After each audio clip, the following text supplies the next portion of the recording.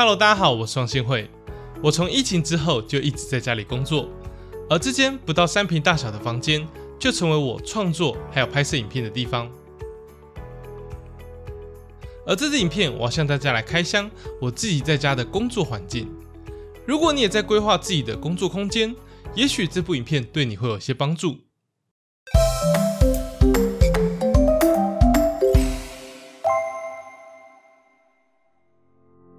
我的工作室空间很小，长宽是二点七乘三点五公尺，不到三平的面积。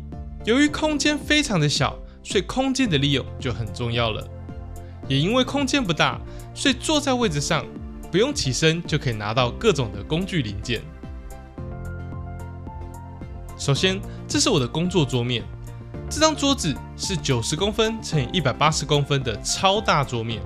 可以容纳三个二十七寸的荧幕，电脑荧幕我都是以荧幕架来固定的，可以伸缩调整。需要搭桌面的时候，可以将荧幕退到后面，空间可以更好的灵活运用。延长线我使用的是三 D 列印件，直接锁在桌上。桌子后方还放了一条灯管，可以照亮后面的墙壁。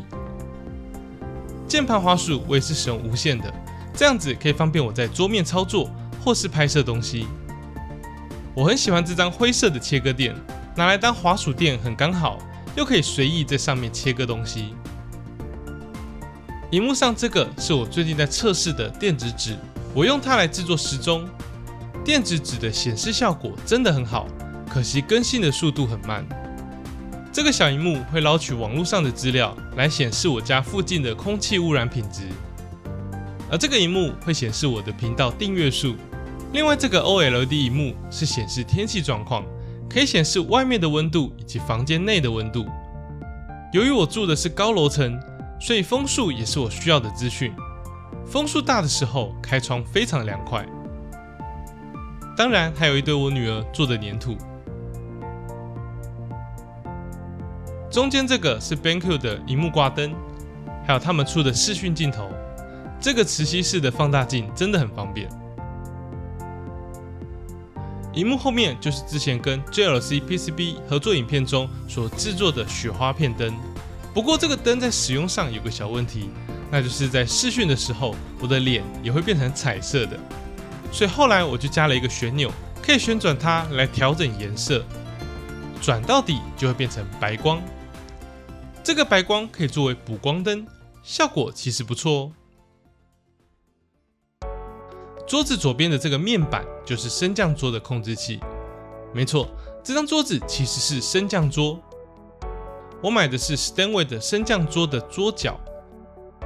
我自己再另外买三六板作为桌面，因为通常升降桌没有配备这么大的桌面。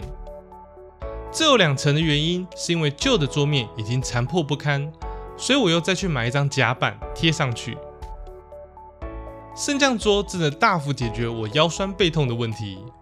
这个升降桌是两个马达所驱动的，所以桌子的重心不可以歪一边。我将最重的电脑主机配置在桌子的中后方，这样子比较不会伤马达。但这也有个问题，你会按不到电脑的开机键。所以我将开机键拉到桌子前方的控制面板，而这一颗大按钮就是电脑的开机键啦。右边这个开关是雪花片灯的开关，以及刚才提到控制颜色的旋钮。这个开关可以控制桌子后方的 LED 灯管，而这个开关可以控制这个台灯。这个台灯是我在学生时期就用到现在的 IKEA 台灯，平常都收在这里，需要焊接或者是细小操作的时候才会打开拉到前面这边来操作。然后这是我的游戏手把架，之前合作 3D 扫描器的时候所制作的。由于电脑在桌子深处，所以我另外买了这个可以夹在桌子上的 USB Hub。电脑的3.5耳机孔也连接到桌子的前面，还有两个我自己做的抽屉。桌子右边这两个按钮是控制房间灯光的。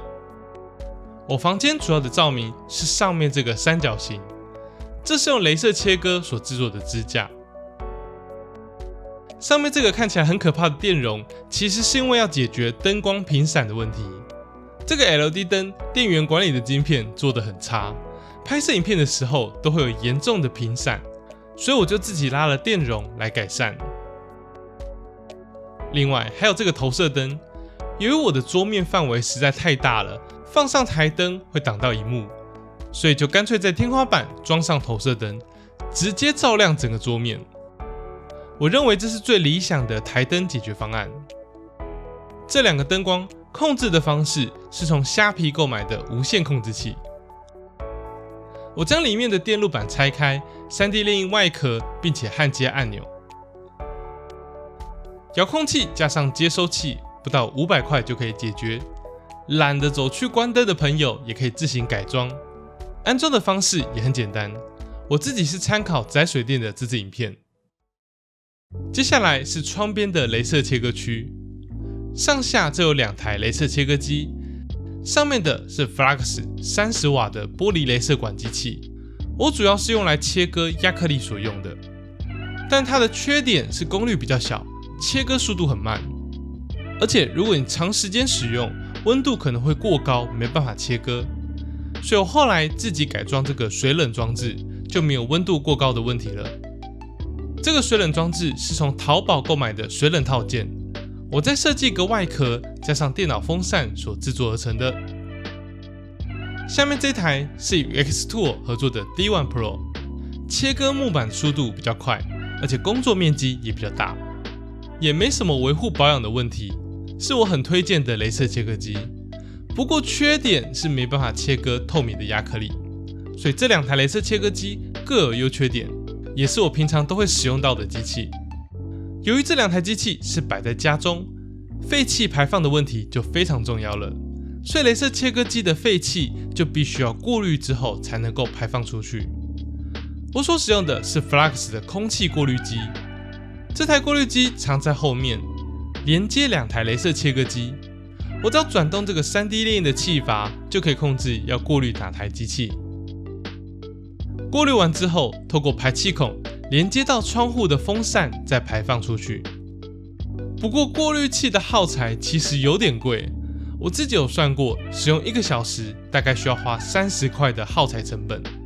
所以如果有大量切割的需求，我还是请外面的厂商来外包。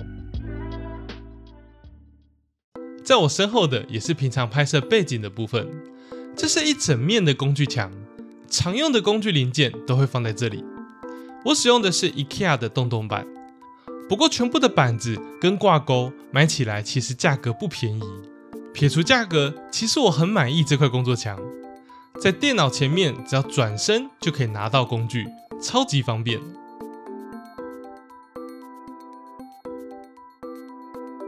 这个是我自己制作的雷切材料架，是参考书局卖纸张的柜子所设计的。可以放上各种小板材作为分类，而且足够稳固。旁边就是我的零件柜啦，我有大、中、小尺寸的零件柜，放上各种的电子零件、螺丝以及各种的材料。如果你也有大量的零件要整理，我蛮推荐可以花点钱购买这款树德的金属零件柜。好的柜子其实可以用很久，而且万一抽屉破掉或者坏掉，你都可以跟他们单独购买。装不下的零件或是不常使用的东西，我都是使用这个整理盒来存放。像这样子透明的整理盒，找东西跟拿取也非常的方便。反而是这种整理箱，其实就像黑洞一样，放进去的东西非常不好找，所以我不常用的零件才会放到大的整理箱。墙壁上这几幅画是我画的亚克力画。原本当初有想说把所有的电子零件都画出来，但画了几幅就懒了。而这些画刚好可以拿来作为我拍摄影片的背景。这个整理电线的方式我非常推荐，相信很多朋友都有各种的充电线，卷在一起不好找，而且又非常占空间。像这样直接垂直挂着，减少空间又可以方便寻找。完美的解决一堆充电线的问题。接下来左边这个很帅气的机器，就是我最近刚买的 CNC，这算是小型工作室用的机器。除了用很帅的外壳跟主机，使用上也非常安静。不过才刚拿到，还没仔细测试，之后可能会拍个影片来稍微介绍一下。这台就是上次影片介绍的 F1 雕刻机，然后旁边是我的 3D 印表机。其实我对 3D 印表机并没有太深的研究，单纯购买便宜堪用的机种而已。左边的架子就是一堆杂物，而这个铁架我也非常推荐，这是在 Costco 购买的，价格便宜又好用。再来左边的整理箱来堆放杂物，以及另一区的洞洞板墙。